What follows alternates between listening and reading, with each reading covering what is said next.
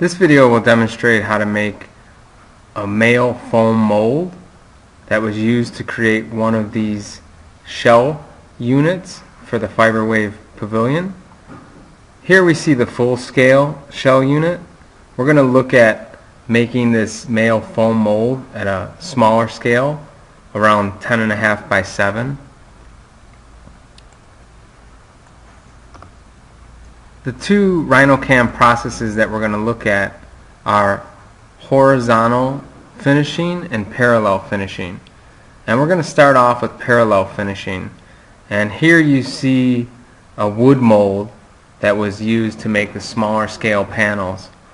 And the first pass or tooling pass that we're going to use is what I consider a roughing pass or a pseudo roughing pass.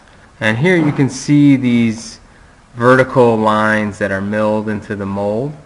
That was used making the parallel finishing. So if you can imagine some Z-planes coming out of this wood parallel to each other, that's the path that the tool on the 3-axis router followed to mill away some of this wood.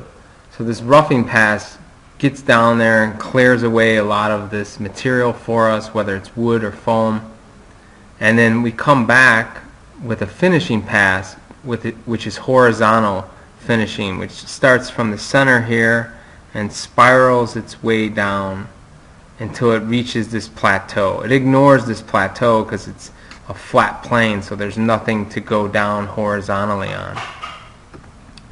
And here's a photo of the small scale mill small scale milled foam mold um, that we're actually going to take a look at setting up the machining pass for. So here in Rhino we have the 3D model set up and as I mentioned this is about 10 and a half inches by 7 inches and it's 2 inches tall.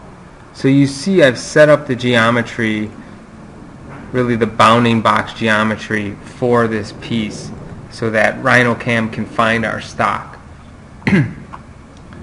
so the first thing we want to look at is what, what type of machine are we using? We're using a three-axis machine. What post should be what post should we be using? It should be specific to our machine and we're using a Precix CNC router. So I'm going to go ahead and change this post just by double clicking on it. And it's important that your post file is inside a folder. You don't want to put these post files on the desktop because RhinoCam won't find them. So they have to be in a folder. So this is in a folder that I've called posts. And you see here it's my FlashCut Precix and it's set up for inch.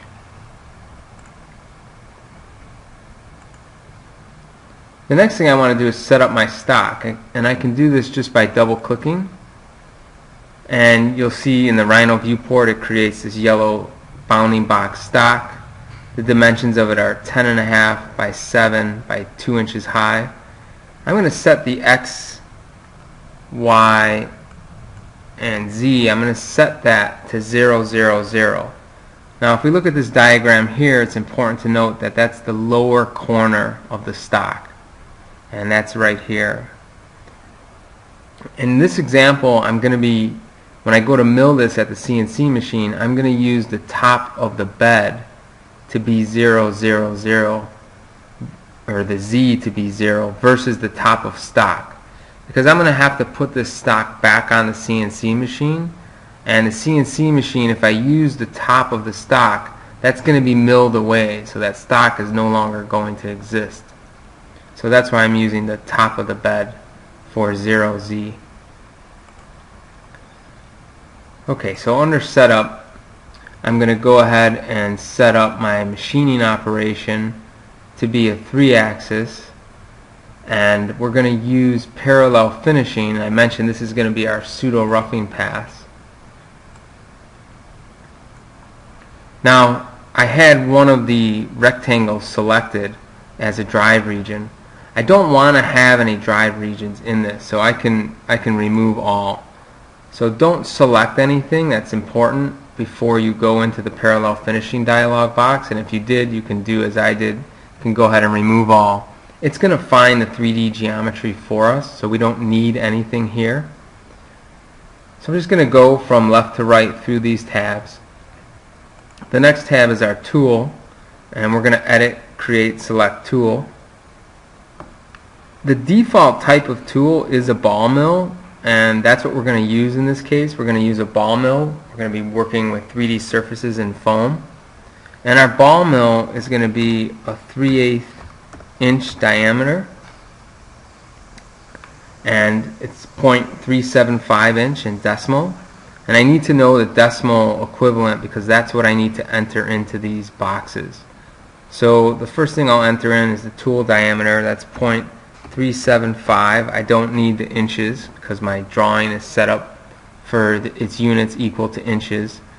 The tool length is 4 inches the shoulder length, if we look at this diagram here, on our particular end mill is 3.5 inches and our flute length, the actual cutting area of the end mill is 3 inches. Our shank diameter, that defaulted to our tool diameter, so that's fine. I'm not worried about the holder diameter or the holder length. I do, however, want to set my feeds and speeds here at the tool dialog box. So my speed, my speed is going to be 12,000 12,000 rotations per minute and my feed rates this is in inches per minute since my file is set up in inches I'm gonna plunge approach and engage a little bit slower than I cut so I'm going to do this at 150 inches per minute for all three of those, plunge, approach, engage. Then I'm going to go a little faster once I'm in the material and I start cutting. I'm going to increase that to 300 for the cut, the retract, and the departure. Okay, I can click on Save Edits to Tool. Click OK from this dialog box. You see here my ball mill 3 8 shows up. I do want to check now. I want to just keep going from left to the right to the next tab. So feeds and speeds, that's 12,000. All of those values that I entered showed up. So now I can go to my next tab in the upper left, which is clearance plane. And this is, the clearance plane is when the, the end mill of the CNC is moving around after it's made cuts or in between cuts. That's how high it's going to be above our stock or our part. So I want to I want to actually put this absolute Z value in myself. Now we can see that clearance plane. That would be bad. It's below the geometry. I'm just going to click the up arrow to raise this up just above the geometry. Just get it as tight as possible. This will save me some some time when when we're actually milling this piece out. Go a little lower than that. And that's too low because it's hitting the top of that part. So about right there. So that's going to be my clearance plane. The next thing I want to look up look at setting up is my cut parameters. So this is a roughing pass. What that means is it's not going to mill the foam all the way down to this geometry in this piece. It's not going to go all the way down because it's a roughing pass. I want to leave some stock and then my finishing pass my finishing pass will take away the rest of that material. So I'm going to leave a very small amount of material, about 3 128 inches. So in decimals that's 0.02. I'm going to leave for my stock. The next thing I want to look at is my step over control. And if we go back to this photo that I had up earlier, so the step over, you can see it's quite large on this mold. You see that probably about every little less than 3 eighths of an inch that these step over. So I can control my step over um, I'm going to use 25%, but I like to put in values there because then if I want to increase or decrease my step over, I can come back to this file and I can see my distance that I'm using. So I'm going to have a step over of about 330 seconds. So not quite as much as what we saw in that photo. So the decimal for 330 seconds is 0.09375. Okay, that's the cut parameters. I'm going to go over now to my Z containment and I'm going to insert multiple step downs. So I'm not going to just blaze into this and cut all the way down to this bottom plateau here. I'm going to have it step down basically three times by using a distance of 0.5 inches. And that's that's the distance from, or I should say the distance from this point to this point uh, is, is one and a half inches. So if I step down every 0.5 inches, it's going to step down three times to finish the tooling path. And we'll see that a little bit better in the display in a second here. The entry and exit, we're going to leave that as the defaults. And I'm going to go ahead and click on generate. Okay, so it's generated a tool path for me. We don't see it because the tool tooling path is actually turned off, the tool paths. I can turn the tool path on and off by using the tool path visibility button here at the bottom. So I turn that on and we can see the three different step down levels at half an inch apart that it's going to take. And then you see the parallel lines. That's why it's called parallel finishing. If we go over to our simulate tab and I'm going to turn off the tool path. We don't see anything right now, but if I right click and I choose simulate, we're going to actually see the CNC process happening virtually here in the screen.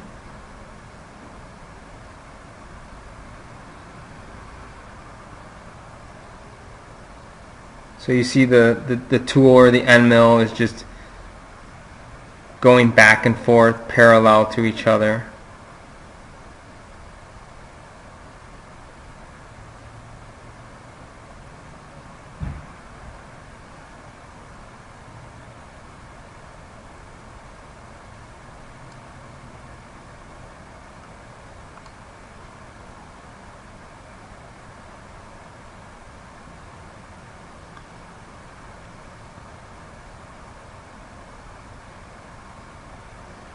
So you see this looks very similar to the photo that I showed you except for the area where the actual shell panel is. This is what I need to really finish off and make it a lot smoother than this and I can do this with horizontal finishing because it's going to spiral down on this geometry and it's going to be a lot faster and a lot smoother than the parallel finishing would be. So let's go ahead and set that up but before we do I'm going to rename this because it's not my roughing, or rather it's not my finishing, it's my roughing. So I'm going to change this to roughing. And I'm going to go back to the Program tab. And I'm going to add the machining operation under 3-axis. And it's going to be a horizontal finishing. So none of my regions are selected. That's exactly the way I want it. My tool has already been set up for us. We did that on the last machining. Feeds and speeds are set up. Our clearance plane can be the same. Our cut parameters. Now, on our on our parallel roughing paths, we left some stock. We left 0.02 that's what we're going to be machining away in the finishing. We had to leave something there to actually make this finishing path. So we left 0.02. Now we set this to 0. I don't want to put anything in here. For cut levels, it wants our step down.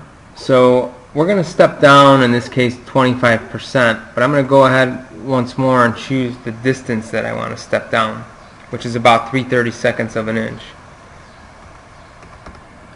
And if I choose later on to redo this with better resolution or less resolution, I now have a value to start with and I can raise or lower that value. Next is the optimized machining. I'm going to check on optimized XY machining. We're going to use a distance here, this time less than 25%. We're going to use about 20%. So a little closer for the step over, so 0.075. Our entry and exit will be the default, and I can go ahead and generate this. Now, in the setup, it's important to have these in the order that you're going to be machining them. So I want to do my roughing first and my finishing second. So I'm going to drag I'm going to drag my finishing under my roughing. And when I go over to simulate, nothing's there. If I click on parallel roughing, I can see that because we've already done that. We've already simulated that. Now let's go ahead and simulate our horizontal finishing. I'm going to go ahead and right click and choose simulate. And you see it's starting from the center and it's spiraling its way out. Every about 5 64ths of an inch is the distance between these lines. And then it's working its way down because it's horizontal finishing. It's spiraling its way down about every 330 seconds of an inch. And it will ignore this plateau. Once it gets to that plateau, because that's one flat plane, it'll stop.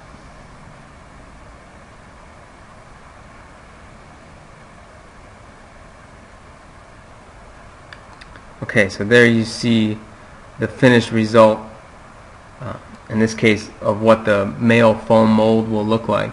The other thing I want to show you is under preferences, under this gear, I have my simulation preferences. I have the simulation accuracy set to fine. So I know that's not the default, so you might not be getting those exact, exact results. So you want to change the simulation preferences to fine. Okay, so I have both of these. I could post this as one file, but I prefer to post these separately in case something happens between the operations on the CNC machine or if I want to do one and take a look at it before I do the other one. So I would post each of these individually. So you see the difference here. Here's, here's my roughing, here's my finishing. So to post, you would just right click and choose post and browse for the folder and save it there. So you do that for parallel roughing in this case and then you would go ahead and do it again for parallel finishing. Alright, that's it.